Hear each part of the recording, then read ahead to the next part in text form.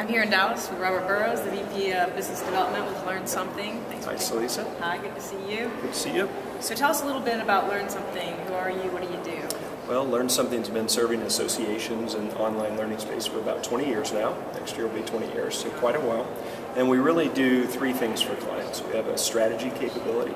So our senior leadership team, as you know, has a lot of experience in this space. So whether it's putting together an approach to marketing an online program, whether it's building the right kind of relationships around content or distribution partnerships, we, we support associations in developing strategy. Then we provide the capability to execute that strategy, so that's the LMS in our case, learner community. Um, and then finally, we have a content capability, so whether that's building custom content for our clients, whether that's leveraging some of our catalog if they'd like to deliver that to their members, or whether that's uh, finding other content partners to build content. We, uh, we do that as well. Great. And uh, how do you how are you different? How's LearnSomething distinguish itself from other players in, in this sort of space? Well, I, I, think there's probably really two things that are very different about LearnSomething. The first is that depth of experience. So my senior leadership team has been in this space for a very long time, and we really understand the association business. So I think that's a, a first important differentiator. Um, we serve associations of all sizes, but we have really long-standing relationships with some very large associations. And so we're able to understand the business case for the technology, and so we're able to put it in the right context. So I think that's the first thing. And then I think second now we have a piece of technology in Learner Community, our new platform that we've built based on all those years of experience that really is a, a, a big step forward in terms of capability for associations. So both in terms of uh, the platform and how you can manage the learning portal and in how we look at courses, a word I don't use much anymore. So we could talk about that. All right. Well, and uh, I know that there's a, a, new relationship that you have with Pearson. Tell us a Very little bit about that. Very excited about that. Very excited. So Pearson is the largest learning company in the world, as you probably know, and most people know, and most people know them from their academic experience. Um, but they have really been in the professional space for a very long time. But they made a, a commitment about five years ago to truly make the transition to becoming a learning services company. And a lot of resources behind that. We're moving in that direction. So we have a long-standing relationship with them, but this was really part of a new effort for them.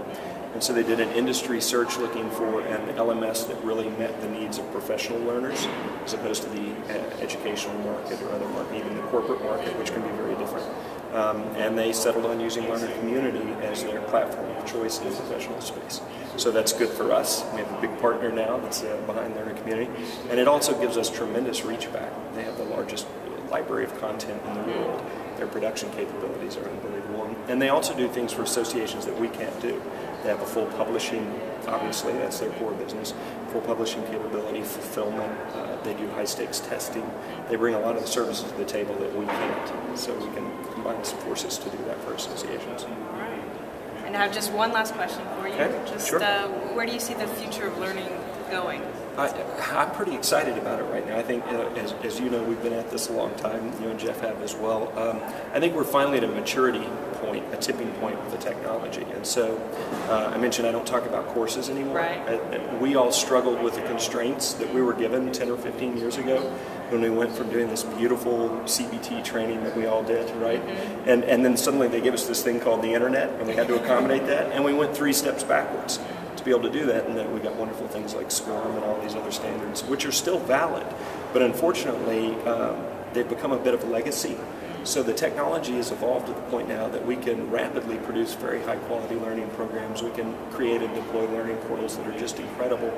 Um, the, the technology has matured, but now what we have to do is shake off our legacy thinking that a course is something that takes X months to produce and I'm going to update it but every year those kinds of things.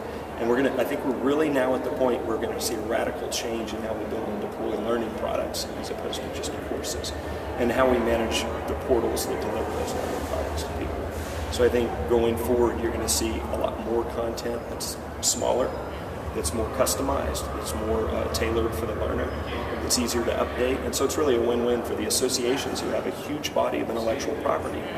Uh, and, and the challenge has always been getting that squeezed into an online course. I think that's going to go away. The barriers are disappearing, and so it, it's not even about the tools anymore. They're there now. You just have to change your thinking.